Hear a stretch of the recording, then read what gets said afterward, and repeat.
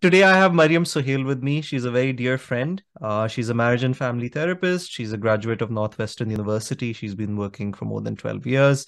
Uh, and we have lots of questions for her today. Hi, Maryam. Hello, Omar. Thank you for having me. I'm really excited for this talk of ours today. Of course. Uh, Maryam, in preparation for today's talk, I put it on my social media if people had any sort of questions that they wanted to post to a marriage Mm, therapist. And um, there, there's lots of things I want to cover. Uh, but one thing I mm, noticed is is that mostly the questions were received from females, maybe apart from one male who who wrote mm. uh, to me. What do you make of that? Why why is it only women who who have trouble in in their in their relationships? So, um, I'm also wondering if the demographic is mainly, you know, South Asian women or w women from our culture. Yeah. So, in in my experience, our family systems are a bit oppressive to women just by the fact that very early on, when the marriage starts, they have to make a transition, which is not that necessary, which is, you know, they move from one family and they migrate into another family, and there's a lot of uh that's that's uncharted waters, right? And nobody's there to tell them that this is how it's gonna go. Um, that I think in itself uh, Mm, raises a lot of anxieties and queries and questions, and they would like to uh, to solve resolve them. They would like mm, to have a point of reference.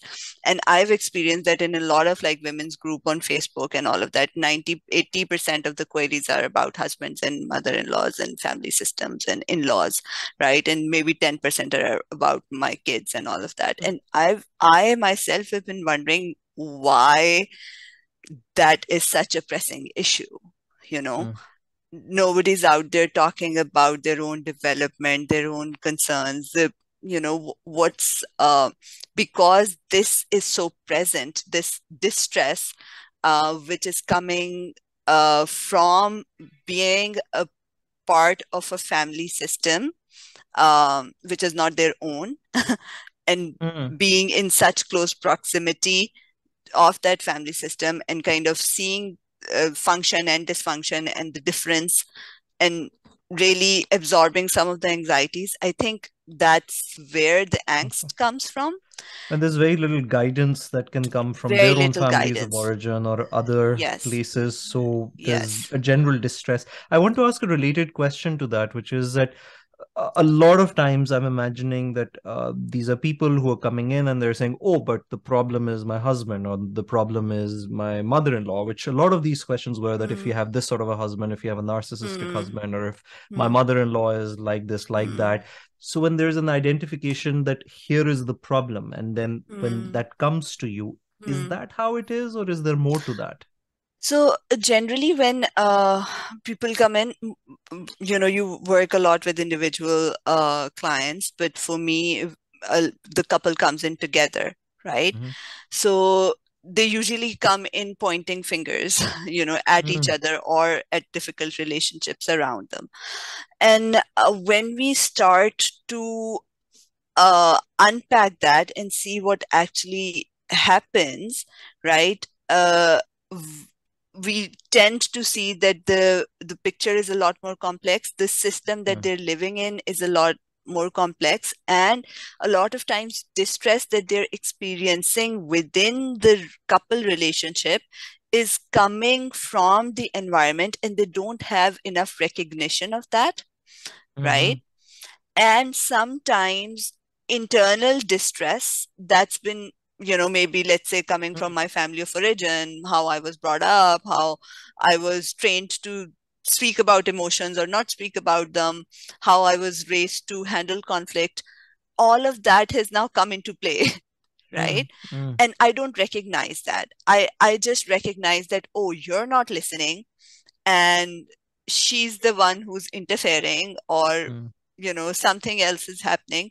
I'm not looking at how my um, relational blueprint my relational you know map has been hmm activated via marriage. What is presented as a symptom um, is a manifestation of probably something else that's happening in the system. You know it's it's almost the same as you know when your knee hurts a Mm. lot of times your problem is with the shoulders you know Mm. they're not aligned and the knee is where all the weight is going and that's what is hurting and if Mm. you operate the knee you Mm. know the other knee will start to uh to show the symptom because you haven't really corrected the system Um, So, do you, do you see that couples are more in distress today than they were 10 years ago? Has something changed um, in, in terms of environmental factors or other stressors? Yeah, I think generally um, we are in the midst of a mental health crisis. uh, Mm. You know, diagnoses for um, anxiety disorders and depression, mood disorders, they've gone like way up in the last 10 years. So, of course, that's gonna uh, be present in a marriage also. But generally, I think in the last 10 years is also like, you know, dual career couples and uh, roles are becoming more egalitarian um, in the relationship, and I don't think uh, we're prepared to receive that so quickly. Right now, those roles are in friction with how, how you know we were raised. So, what is demand of this new, uh, new you know times? We are not prepared for that. So that poses a lot of you know okay how do we change what do we change Mm. and generally um, high stress mental health issues translate into very little um, ability to be tender and Mm. relationships and romantic relationships happen in the arena of tenderness right Mm. if you don't find space for that and if you don't um, kind of um, create intentionally that space if you don't intentionally create that space of tenderness um, you you you will have a relationship with which will have a lot of angst Mm. you know Okay.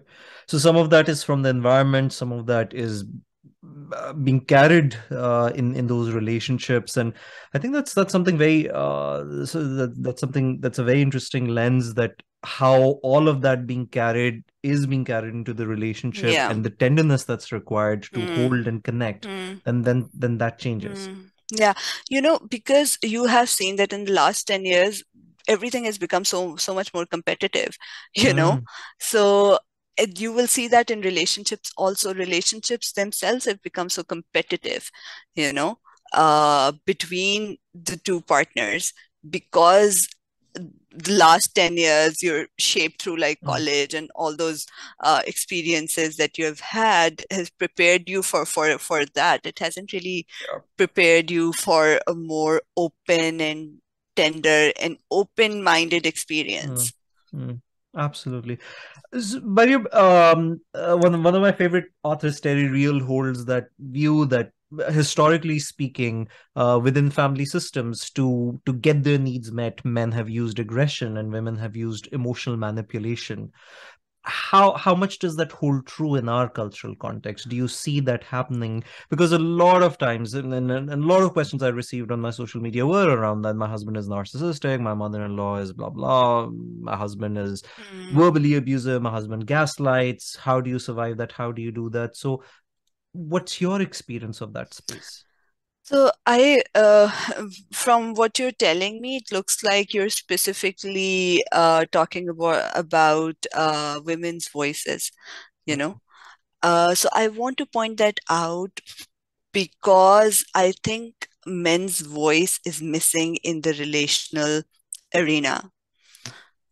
And I've been trying to tap into that, and that's why I remember your your article went so viral because it was giving a voice to to men, you know, which is otherwise Absolutely. absent. Yeah. So uh, I think that first of all, uh, we need to not see that we need to not really um, assume that that is the reality because we haven't really heard the other voice. Um, Mm, the other thing is these these like gaslighting and narcissist narcissism are now very popular terms, right? mhm, And you and I know that narcissistic personality disorder is a, is a clinical diagnosis with very little prognosis, uh, where a person has very little insight into their own, um, you know, behavior patterns and how they're impacting others and harming others, right? Um, so that's the clinical part of it. Mm. However, inability to see and hear um, your partner or the other person is also very common in um, is a very common relational problem mm-hmm. right mm-hmm. it doesn't have to be clinical narcissism 80% of the problems in within a couple is arise from the place where I don't feel heard. I don't feel mm-hmm. seen. I don't feel seen as a woman. I don't feel uh, appreciated as a woman. Um, um, and that doesn't mean that my I am not winning the argument. Mm-hmm. You know, it's it's uh, it's a rather subtle experience uh, where my quality of my experience is not um, does not have space in the relationship right mm-hmm. so that's a very common dynamic and that's what we kind of undo in therapy or we create more space for both people's experiences and create that under uh, skill capacity in both partners to see each other and to hear each other mm-hmm. you know because not being seen and you know that that happens in individual therapy also not being seen is such a painful experience. Yep. You know, kids growing up who don't feel seen, it's such a painful experience. So when your partner is not able to see that, a lot of times that's rewounding the, you know, the kind of recreating the experience for you that you had growing up. So a lot of times that's what we are kind of doing in therapy, mm-hmm. identifying in what ways they're not able to see and hear each other and then creating space for that. Okay. And earlier Maryam, we were speaking about it that from from this we would assume that it's it's always sort of a woman who is coming in saying this is a problem and my husband is not willing to come in and they're not willing to come and speak about this. How how do you how do you view couples? Who gets in touch? Who's getting help? Are men willing to? Do they also get in touch yeah. So generally, whoever is in distress mm. seeks help more. Mm. You know, if whoever is carrying the distress in the relationship, um, it's different. So, for example, if uh, a woman is in the relationship is getting in touch, she's the one who's carrying the distress. That doesn't mm. mean that the husband or the partner in the relationship is completely living a smooth life mm. right mm. so uh, there's one party usually who's more vocal about their distress who's more aware of the distress but usually both of them are going through distress in mm. my experience you know growing number of men in the past let's say 3 years i'm i'm receiving more um more and more requests from men uh, to come into couples therapy, right? Um, and I think a lot of times when they come in I, i've seen a lot of men also suffer. And I, I have a kind of a soft spot for them because when they have very little spaces to talk about it women still are have that kind of emotional intelligence to create those spaces for themselves. Um, mm, you know with their family of origin with their mm-hmm. girlfriends um, online communities they're very resourceful like that. Um, very few men i I think are able to talk about their marriages with anyone, uh, even to their close friends. They don't. Yeah. Absolutely. I mean, that would be my experience of working with a lot of men. Uh, that that might be the only space where, where they're talking about these mm. matters, mm. and they might have friends whom they've known for decades, right. but they don't take that there or they it comes up in misogynistic jokes that that's yeah. yeah. you know that's yeah. their way of expression you know that's how they're expressing their distress Absolutely. yeah yeah that oh well what's the point i mean my wife is not going to listen anyway or she's busy with the kids or something Yeah. instead of Uh, Women and, are and just like that. absolutely so about I, I wanted to know just about that that when when the person's needs are not being met and more often than not it might be a woman who's saying well my partner is not attending to me. He's out with his friends. His mother is like that. He sort of doesn't pay attention to me or something like that. And let's say uh, they're equally also Mm, saying that it doesn't work. We've tried to ask them let's go to marriage therapy and or that option is not even available to them or they can't mm, afford it what can what can the mm, person do in their everyday mm, mm, life sort of just to help that mm, situation are there any skills that might mm. help or any tips you might have there Yeah. So generally, I think identifying your needs and communicating them directly mm-hmm. rather than launching it as a complaint, you Mm, know. Uh, for example, you know, can we go out for dinner tonight? Or I really want to eat out tonight. Uh, rather than mm, saying you never take me out, you never pay attention to what what I want, right? yeah Um, and I think a very good resource for that is um, uh, the Gottman Institute. You can look that up online. It has very, you know, um, three decades of research available on uh, what differentiates a long-term happy couple from a mhm, couple that splits up you know within the first five years of their marriage.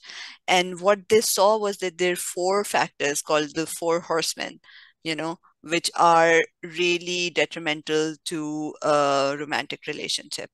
Um, contempt criticism stonewalling and um, and there's one more. Defensiveness. Defensiveness yes yes thank Mm, you.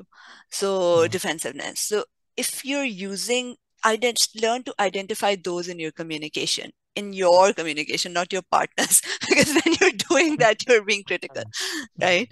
So uh, learn to um, identify those and then try the antidotes you know and the antidotes are basically you know having soft start startups and even if, uh, if you want to bring up something which is difficult like finances or family related issues have a star a soft startup that look i want to uh, talk to you about something. I don't want to uh, make you feel like you're the problem.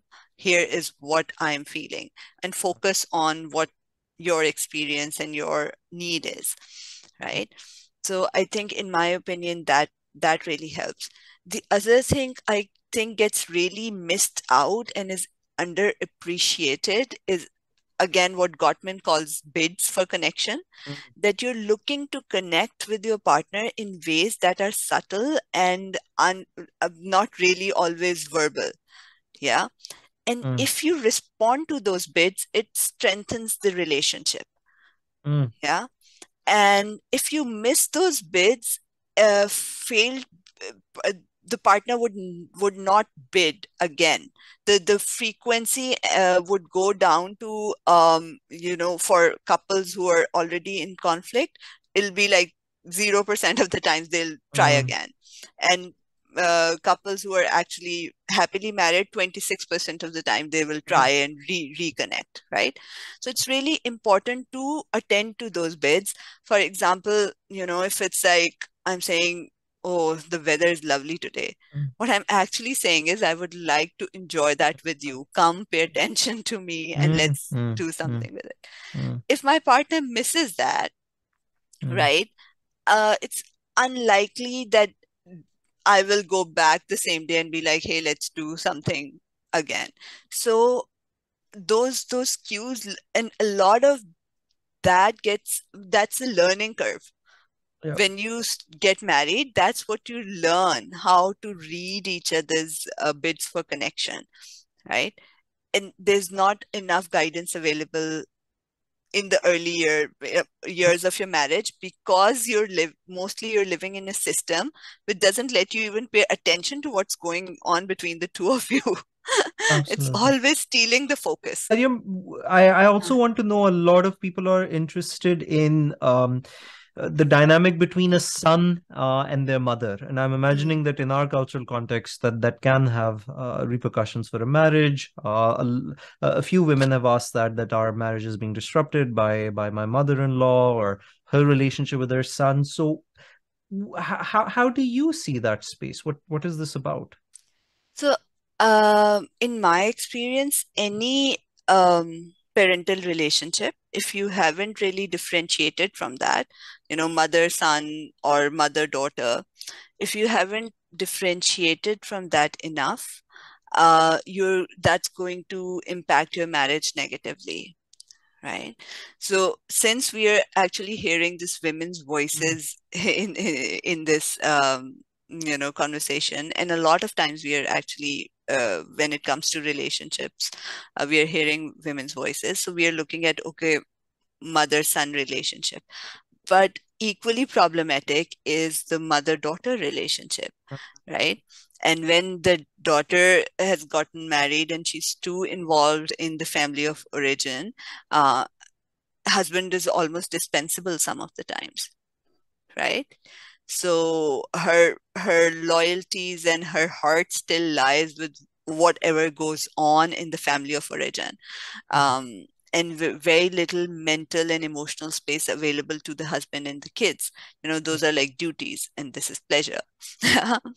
So similarly uh, with, with, men in very enmeshed uh, relationships with their parents mother and uh, father very little emotional intimacy to give to the wife mm-hmm. right mm-hmm. because with with their with their parents and with their mothers they have created very intimate spaces yeah they come back and they share their day first with their moms you uh-huh. know they they seek advice from the from the mom they keep whatever comes out of their you know mother's mouth is very sacred mm-hmm. so uh, there's a lot then limited space for intimacy for the woman in their life and then there's like they're pitting them against each other you know they they're mm. not spaces that that mm. that are competitive in nature they're very different spaces and if you haven't individuated enough then you don't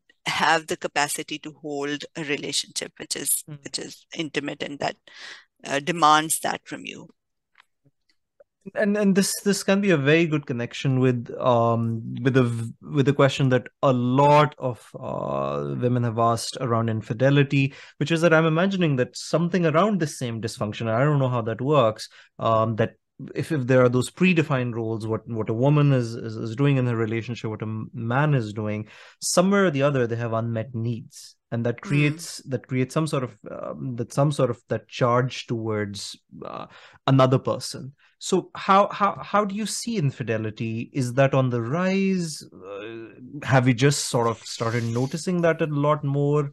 If it is, then what are the reasons? Mm. What, how do you heal through that? So I think a lot of people who are in therapy have some form of or um, some experience with infidelity you know? Even if it is something like you know watching porn and the wife is not really okay with that right? Uh, from that to having uh, emotional intimacy and you know partners not being okay with that. Uh, so it's it's it's on the spectrum so most people that you work with there's some form of infidelity that you pick up but then there are cases that are presented to you for in, infidelity. Like there are couples who are seeking help just because you know infidelity has been uncovered and discovered or being confessed you know? So uh, that is um, and they, when when they come in it is very painful space for both of them you know we usually just identify with or try to work a lot with the party who is being cheated on. Mm-hmm. But I think the party who cheats is also in equal distress, you know? and I think that never gets recognized enough. Um, the other thing is infidelity just rocks the foundation of a marriage. Mm. Yeah. However, I always um, kind of give some hope to the couples that I work with that infidelity is not the is not the end of a marriage, it's beginning Mm. of a new marriage. Uh-huh. Okay. Because after something like that has been exposed, they actually get an opportunity to uh, choose each other again or not. So I think Because a lot of times culturally, uh, the messaging that that might be given is even shame around that, which is that, oh, you're Mm. accepting something, which is, I mean, a cheater is always a cheater, and you're just now accepting you're yeah. weak in some ways. The ideal is to leave or something. So, I mean, how, in what way do you say that a new relationship is possible? Yeah, but but, but Omar, all those things are very like uh uh new agey. You know, if if you if you look at uh, history of relationships over um you know thousands of years, Mm. uh infidelity and that possessiveness around relationship is a very new concept, right? Relationships have historically been uh, treated with loyalty more than just commitment Mm-hmm. You know? So i think that that is also something that puts infidelity in this deep dark corner. If that has happened that is that has really doomed the relationship forever. Whereas it's kind of something that's always been around and part of a relational development. You know? So and again it's a, it's a it's an unpopular opinion but it's like um Esther Perel also says that, that talks uh, about it. primary yes. couple always exists in the shadow of a third, so that that always exists. And I mean, and if people are interested, I think Esther Perel is a is a very interesting sort of uh, resource. And and she actually uh, kind of uh, when i read her work on infidelity for the first time i was like i've been saying that Mm, for some time now and i feel so alone saying it and feels like oh you know what are you trying to mm, propagate here but uh, uh, she actually put a lot of that into context um, right so just so you know it's painful to be mm, be in this mess but this is this can also be a step towards relational development mm. right? Okay. All right. Um, Maryam, I know there are lots of other questions, but these are the ones, the main themes that, that I, I wanted to pick up today. Thank you. Uh, thanks for your time. Uh, I hope that we can have another chat. yes thank you so much Omar thank you All right.